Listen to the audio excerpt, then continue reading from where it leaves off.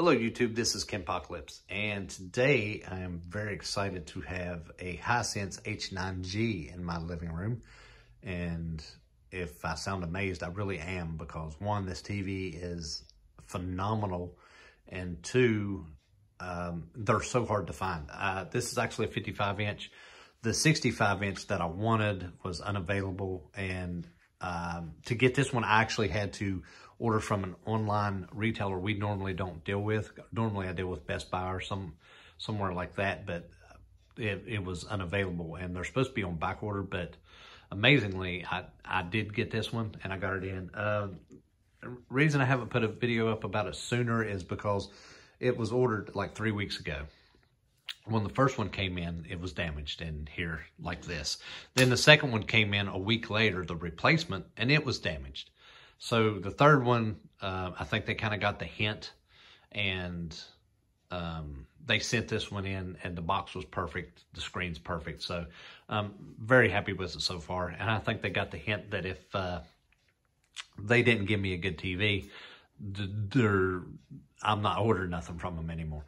So um, that being said, um, this TV is amazing. It's actually so amazing that it's replaced my TCL 8 series that I had.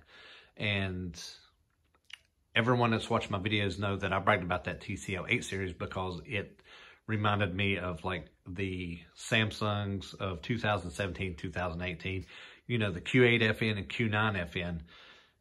And I compared it to the Q9FN because of the picture quality, the brightness, uh, the picture clarity, everything. And uh, and that was back when Samsung was making good TVs, the Q9FN. And I'm not talking about the crap that Samsung puts out now to try to shove down people's throat that ain't any good. So um, I think Samsung's on the offensive a little bit because TVs like this one is coming out. This TV uh, does better than the 8 series in almost every way. Uh, the motion is excellent.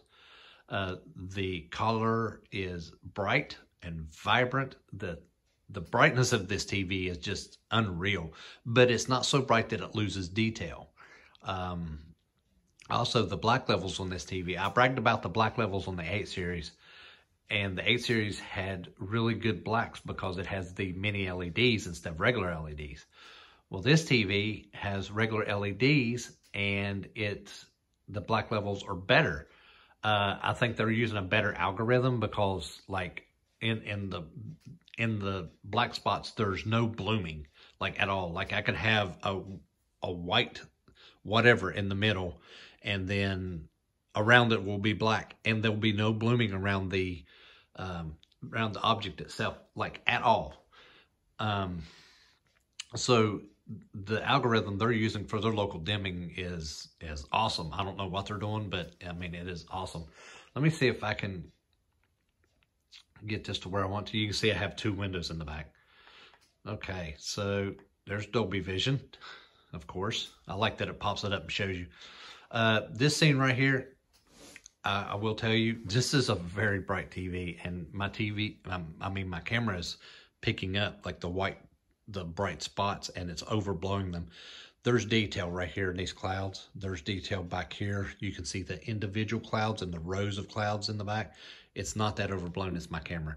Uh, right here, it is that bright, but on the TV, it's detailed. You can see every little thing about him. You can see, you can even see like, you see his arm like right here. It's, it's just phenomenal that you can see so much detail in this picture. Um, I wanted to choose this because this is a bright scene and uh, it actually shows off, you know, the brightness of this TV. It's very bright. I, I can't get over how bright it is. It's brighter, just as bright or brighter than the, the TCL 8 series. Now up here in the black bars, that is like solid OLED black and there's no like blooming at all, like none. If you see any blooming, it's on the camera. There, None. Absolutely none. Like OLED black. Um, this TV is, it's excellent. Um, the colors on it is great. The screen uniformity is, I don't know if I won the panel lottery. It is perfect. There's no vignetting in the corners. The The picture is bright, crisp, and detailed. Um, I can't say enough about this TV.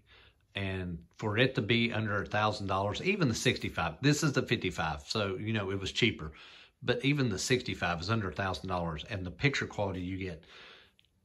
Um, I mean, I'm just going to say this, that, you know, big companies like Sony, um, Samsung, LG, all of them are, you know, they're, I'm going to say they're running scared. And the reason I'm saying that, and I know I'm going to get a bunch of backlash from comments and people. It's like, oh, Samsung's the best thing ever. N no. Um, so this TV, TCL's budget TVs are, have come a long way.